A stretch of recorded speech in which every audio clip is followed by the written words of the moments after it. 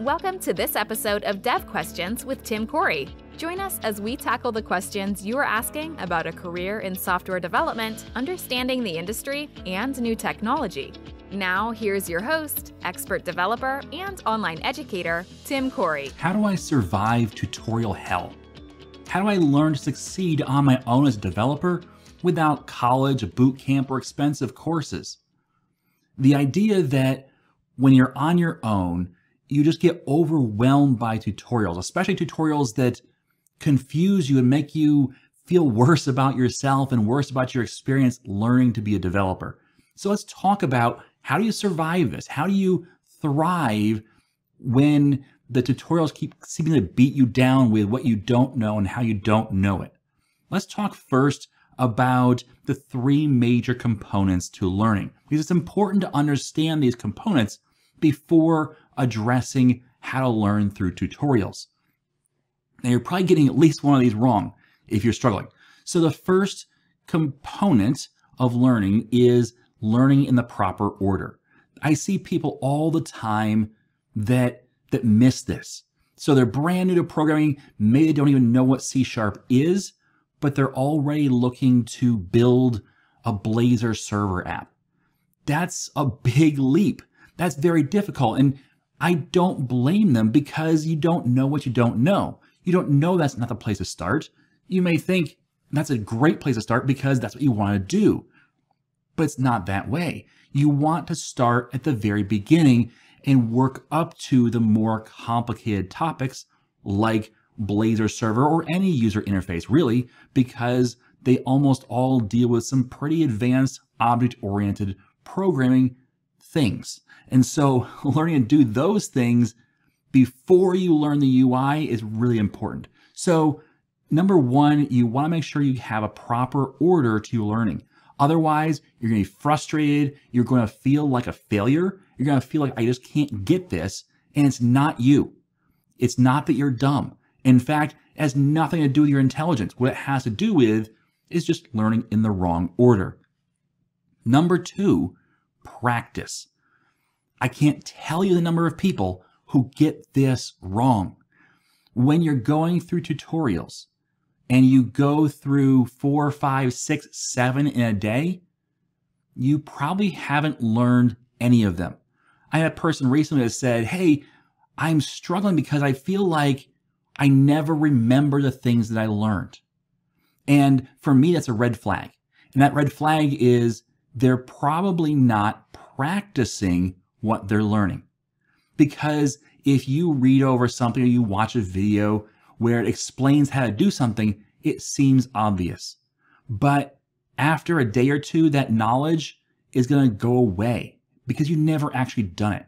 You need to practice it. Not only will this help solidify in your brain, it will also expand your knowledge of a topic you're learning and it will give you examples to look back to that are yours that you did in that specific area. So, really important practice, practice, practice.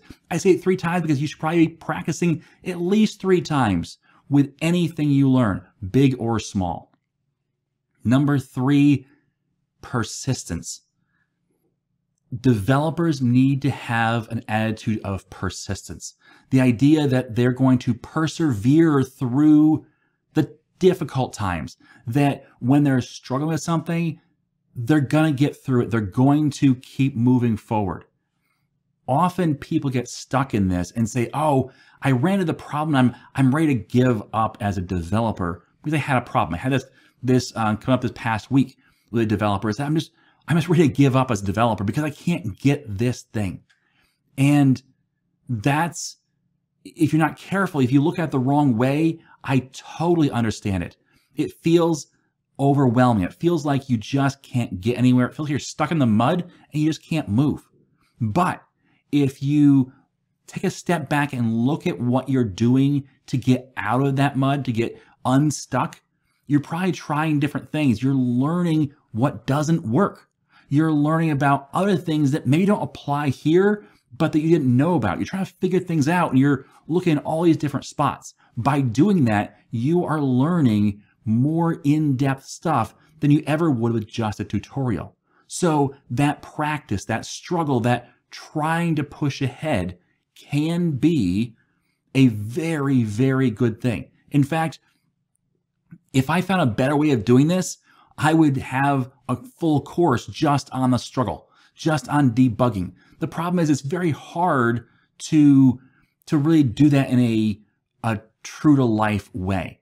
So whenever you have a problem come up, instead of trying to get out of it, try to work through it yourself. Learn from that. Learn from that that persistence, that perseverance to push through to get to the other side.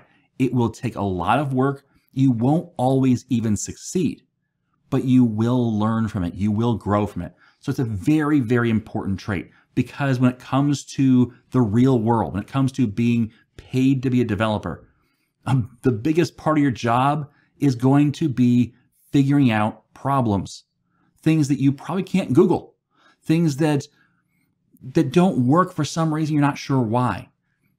That's your job. Your job is to be a detective. Your job is to track things down, to think logically through the steps, to work through that application, to figure out what's going wrong. So persistence is really important as a developer. So those are the three things that I think that you should uh, go through or know the three major components to learning. So now we know the three major components, which is proper order, practice, and persistence. Let's come back to the idea of tutorial hell. The idea that when you're going through tutorials, it's just overwhelming. Well, first of all, the first step you can take is to reduce the number of tutorials you're doing. I know it sounds counterintuitive. You will learn more by doing less.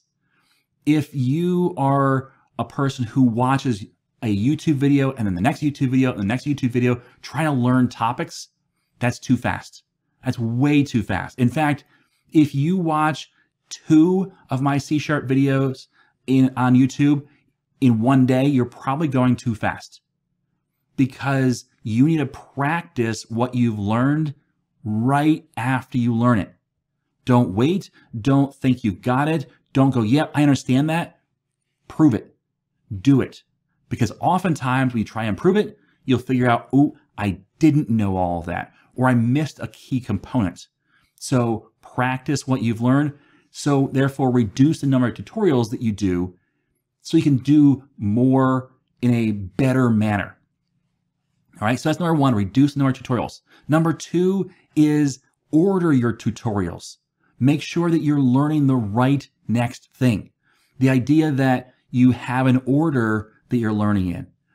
I have two foundation courses on I am Tim Corey. The first foundation course is Foundation in C Sharp, and the second one is Foundation in Web Development. For both of these, one of the most important things in the course is the order. I spent an enormous amount of time putting those orders together, reworking the order, re uh, assessing the order, making sure the order was correct, so things built on each other, so that they they weren't confusing as much because you've only ever used the things you've already learned. So it's a lot of work to get it right, but that order is important. That's one of the major benefits of buying those courses versus just doing it yourself with tutorials. Now, I've shared before, and I'll share again. Go look at the order that those are in. If you can't purchase the course, that's fine. Use that order because that's one of the most valuable parts of the course and it's yours for free. You can see exactly what the order is. You just need to go find those tutorials to match each of those topics in order. But that order is really important. So putting things in the right order will really help you as you progress. Doing the basics first before the intermediate things, before the advanced things. If you try and start the advanced things, you're going to get discouraged. You're going to feel like you can't understand things. You're going to feel like you're always just treading water, trying to get that next breath before you go underneath the waves. That's not what I want for you. I want you to learn in order that is that is more easy, that is easier to go through, and it's more encouraging because you can succeed. You can succeed as a developer, but you have to learn it in the right order. So, number one, reduce the number of tutorials. Number two, learn the next right thing, put those tutorials in order. Number three, I've already said it before, I'm to say it again practice each thing you learn. Don't move on until you understand it. Don't move on until you have at least two practice projects. Now, I have another uh, podcast episode slash video, whichever you consume, on how to practice and what kind of applications to build when you practice. There's a lot of confusion around that, and I clarify a lot of that in that episode. So check out the past episodes of Dev Questions for that practice episode. Now, the fourth thing is stick with it. Keep going. Keep pushing forward. You can do this. You absolutely can. And yes, I have some people tell me sometimes, well, not everyone can. Yes, they can. They absolutely can. It's maybe they won't, maybe you won't be as in depth or as awesome as another developer. That's okay. You can still be a great developer. Each person is different. That doesn't mean that each person can't do it. So it's like painting. I'm not good at painting, but I can paint a few things. Well, I'm not a Picasso. I am not a, a, a Renaissance painter by any means.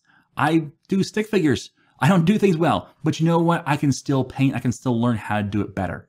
You can do the same thing. Stick with it. All right. So those are the things on how to survive tutorial hell. You can do this. You can get beyond this and not feel overwhelmed. Thanks for listening to this week's episode. If you have a question about being a developer, check out the previous episodes. Like I said, there's ones in there that will be definitely helpful. Thanks for listening. As always, I am Tim Corey.